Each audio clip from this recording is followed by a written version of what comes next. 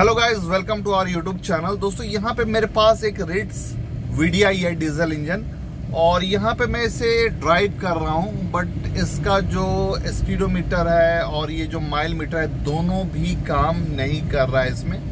आप देखिए, कोई भी इसमें चेंजिंग नहीं आ पा रहा है माइल मीटर में भी और स्पीडोमीटर तो ज़ीरो पे ही है।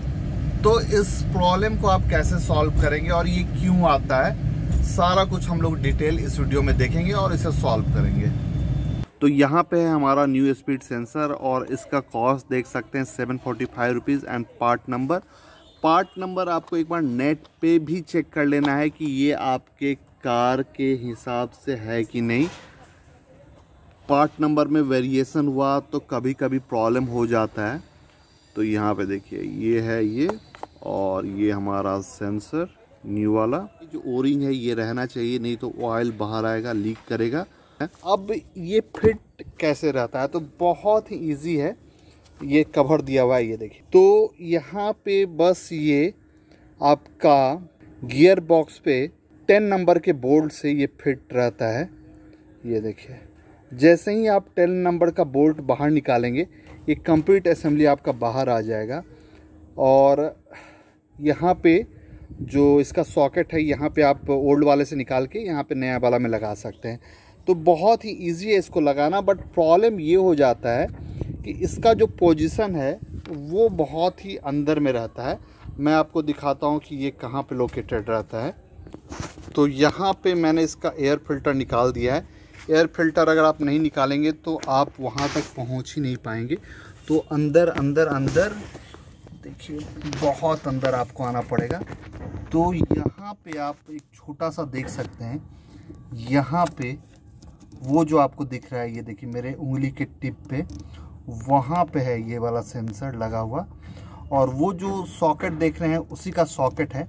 तो पहले हमें सॉकेट को बाहर निकालना है और निकाल के हम लोग वहाँ पे न्यू वाला इंस्टॉल करेंगे। और यहाँ पे जो टूल आपको यूज़ करना है, ये देखिए मैं बाहर निकाल रहा हूँ। यहाँ पे जो टूल यूज़ करना है, वो भी आपका स्पेशल होना चाहिए। ये देखिए, इस तरह का टूल का मैं यूज़ करता हूँ। अब वहाँ तक मैं आपको शो नहीं कर पाऊँगा। ये देखिए, वहाँ पे है, देखिए, बहुत ही अंदर में। ये देखिए, वहाँ पे। तो वहाँ पे कैसे भी करके आपको हाथ को पहुँचाना है। जनरली बैक साइड से इस साइड जो गैप है, वहाँ से आपको पहुँचाना पड़ेगा। सॉकेट को निकालेंगे और पुराना वाला सेंसर को बाहर निकालेंगे और उसके बाद नया लगाएँगे। तो मैं निकालता हूँ, फिर आपको बताता हूँ। तो यहाँ पे देखिए, ये जो सॉकेट आप देख रहे हैं, ये मैंने बाहर निकाल लिया है। ये देखिए, यही था। और यहाँ पे देखिए, यही है सेंसर ये देखिए, ये सेंसर है और ये टेन नंबर का बोल्ट है।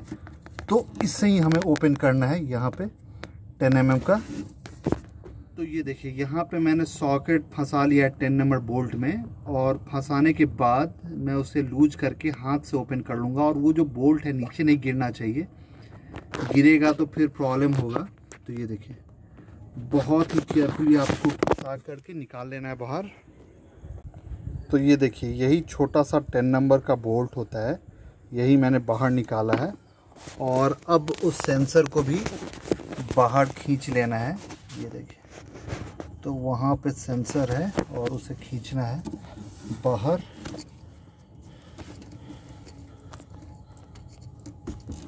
और कभी कभी ये टाइट रहता है, क्योंकि वहाँ पे ओरिंग रहता है। तो ये देखिए। मैंने इसे थोड़ा सा सीख कर दिया है। अब आई थिंक ये बाहर आ जाना चाहिए।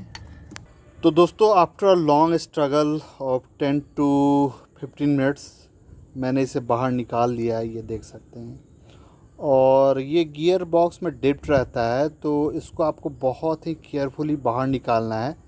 ये नहीं कि आपने इसे तोड़ दिया। अगर आप तोड़ देंगे तो फिर बहुत बड़े प्रॉब्लम में आप फंस जाएँगे। ये देखिए, इसको आपको तोड़ना नहीं है।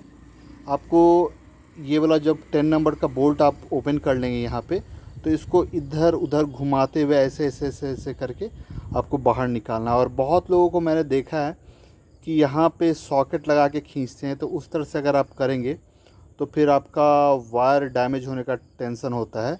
तो आप ये सेंसर लगा भी देंगे तो फिर काम नहीं करेगा।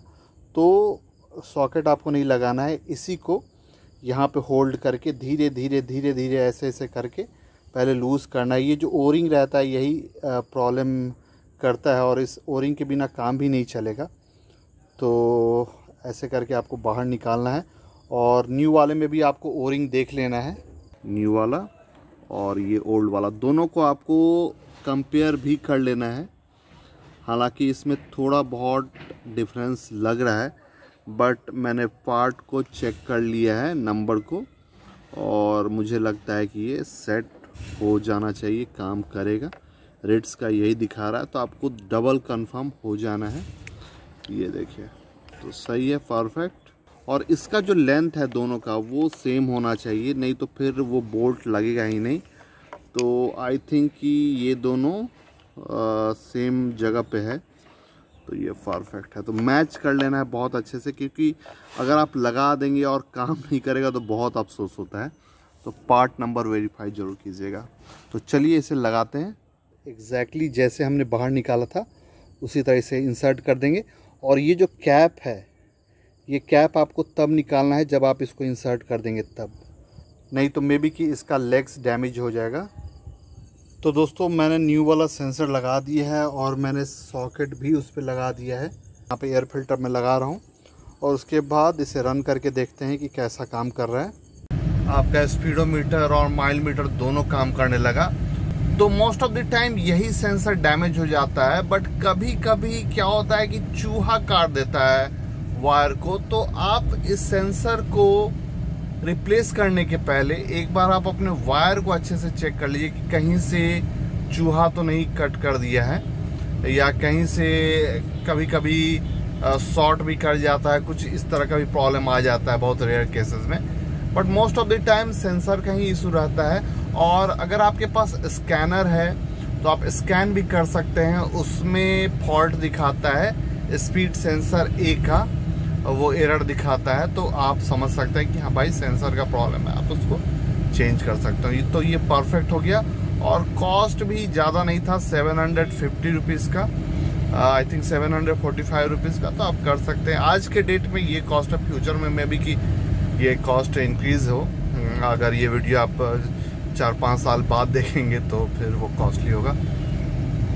और लगाना थोड़ा सा डिफ़िकल्ट है क्योंकि वहाँ तक हाथ नहीं पहुँचता है बट हाँ आप कर सकते हैं। और बहुत ही ईजिली हो जाता है। और सिर्फ़ एक टेन नंबर का बोल्ट आपको ओपन करना रहता है। जैसे ही आपने वो बोल्ट ओपन किया, आपका काम हो गया है। और कभी भी, एक बार फिर से मैं आपको बता रहा हूँ, कभी भी वो जो सेंसर है, उसको अगर आपको बाहर निकालना है तो कनेक्टर आपको हटा के निकालना है। ऐसा नहीं कि आप वायर के साथ उसको खींच रहे हैं वायर तो वो वायर ही बाहर उखड़ जाएगा। क्योंकि बहुत पतला पतला रहता है तीन वायर तो वो बहुत प्रॉब्लम हो जाएगा। फिर आप कनेक्टर रिपेयर करेंगे, फिर सेंसर डालेंगे तो बहुत तो वही टेन नंबर का बोल्ट हटाइए सेंसर हटाइए और न्यू डालिए, ये परफेक्ट हो गया।